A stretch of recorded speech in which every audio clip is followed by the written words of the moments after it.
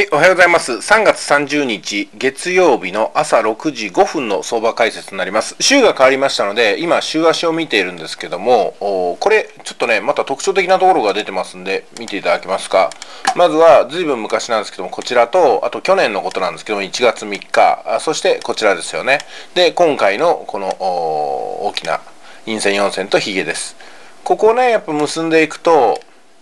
正確にぴったり横ではないんですけども、まあなんとなく符合するところがあるなっていうのね見えるんで軽く考えておきたいと思います。ここに当たると上に上がるんだよということがね、えー、大体ずっと前からお話してますけどもここも同じですよね。ぐっと上がりましたね。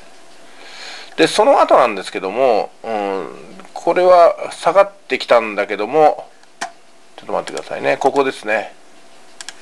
週足で見るとこの1週間1週間この3本4本の、1週間がかなり大きな特徴的なバーになってますよね。5本ですかね。最近の5本。で一番最初最近のがここです。上髭を出した様子で陰線と陽線が並んでいるということなんでこれ大きく下にねまだまだ行くんではないかなと考えながら見ております。ただ今形成中なのが赤いのがちょっとポンと出てるんですよね。窓を開けながら。この辺をだからどういうふうに見るのかってことを時間軸をね下げながら見てみましょう、えー、日足なんですけどもねこここういうふうにねとんがり帽子ができた後ズバーッと落ちましたね。すごい勢いで落ちましたね。でまたすごい勢いで登っていきましたね。でまたすごい勢いで降りてきてここはかなり派手に取れたところですよ。私がずっと呼びかけていたんでもう売りに入りましょう売りに入りましょうばかり言ってました。はい。大きな利益を上げた方もいらっしゃるみたいなんでよかったなと思います。本当にこういうねボーナスチャンスがねあのー、年の123月あたりに来てくれると後半が楽だなと思うんですよね。私も去年そうでしたけども。で何もわからないですね。すいません。4時間見てみましょうか。4時間を見てみるとですねこのゾーンがやっぱり助けになるんですよ。この陰線4線の束を手がかりにゾーンっていうのを横にぐーっと引きました。そうするとやっぱねここを突き抜けたあたりからもじゃもじゃしだしたってとこなんですよ。で、えーと、N を書いて上昇するのかなと思ったら大きな勢いをつけてこのゾーンを突き破って下に来るという流れですね、うん、ここがだからゾーンを抜けたあたりから大きく捉えられたところだというふうな形で解説をしておりました。で1時間なんですけども1時間はねもう懐かしいでしょ？こういうふうに三角形を引いて本来だったら上に抜ける可能性が高いんですけど今回下に抜けましたんで下に抜けたあたりからエントリーしてで、えー、大きくね何段階かに分けて取っていったと。でここで N が出て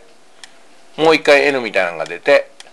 ここで大きな N が出てでここはね星野さんが取ってましたね。すごいこれは入れないですよなかなか。中村取れたも入れなかったって言ってましたけどもね。ここはすごい難しいところです。これをね取れたのはすごいですよね。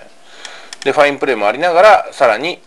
N を書いて今に至るというところでございますけども。じゃあこのねえー、陽線がちょっと出ながら今週始まってるんですけどもこれがどっちに向かうのかさすがにこの1個じゃ分かりません。ただその前のねこの上髭を見ると一瞬は陽線なんですけどもこれ多分ね23時間経過してみると結局下の方に向かう流れに巻き込まれるんではないかなと思います。100日移動平均線が上から下に下がってきてあとアリゲーターラインがこういうふうに下にね広がったままですからこれはもう売りの要素がもう一回続いてると思って反転するまでまだまだ売りを仕掛けていくつもりで月曜日しっかりと見ていきたいと思います。まだエントリーしないですよ。ただ下に行くんではなかろうかという強い思いがあります。あ思いが強いです。下に行ってくれっていう願いじゃないですよ。違うんですよ。ここのトレーダーの方捉え違いしないでください下に行ってくれって願いじゃなくて下に行くだろうっていう思いが強いんですよ、うん、これ上に行くようには見えないな。っていう形です。上に行ったとしても N を書いて結局は下に下がっていくだろうなってことですよね。で、えっ、ー、と私はもうロットがすでに5になってるわけですよねこれ。まあ、どのぐらい利益をね上げたかちょっとね想像してもらいたいと思います。ちょっととても口じゃ言えません、えー、こんな感じですね。まあ今年はもうトレードやらなくていいようになりました。これでもうやっていきますけども、えー、いやだからね育っていくんですよやっぱりコツコツやれば。本当に FX のことを私ね、こういう時期だからこそ余計申し上げますけども、なんで今まで FX 本気で取り組んで力をつけておかなかったのかっていうふうな後悔をしてる人が大変だと思うんですよ。で、できてるようになった方は、いやこういう危機の時にね、FX があって本当に頼りになるなって、全然住む世界が変わっちゃうんですよね。まあ、ですんでね、あの、仲間のトレーダーにお願いして許可が取れましたんで、とりあえず、 Zoom のライブをね、やってもいいよってことなんで、1日も早くということで、えー、3月31日の21時から、 Zoom ライブをすることになりました。またね、URL を明日の配信ででも、これから発行しますんで、お配りしますんで、えー、ご参加いただければと思います。まあ、そこではね、えー、現状、どういうふうに、この今、閉塞感のある世の中、考えているのかってことと、心理学的に多くの人は何を考えて、結果、どういう間違った方向に向かっていくのかってことね。そしてその心理を操られて、操ってるのは誰だみたいな話もするかもしれませんけども、で、最終的にそういうことも相場に現れてるんだよっていうふうにつなげていって、そうなんですよ。毎日ね、相場を見ていると、あの、要するに誰が仕掛けて誰が仕掛けられているのかってこととかね、考えるようになるんですよね。それこそ陰謀論がかなり私の前にも渦巻くわけなんですけどね。まあ、トレードとか金融と陰謀論っていうのは切っても切れないなと思いますね。ロックフェラーとかね、ロスチャイルドとか、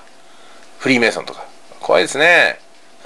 ゾルタックス・ゼイアンっていうのもあるわけでしょ？あの、なんですかね。あの、聞くだけでも、これ言うだけでも怖いんだからっていう人いましたけど、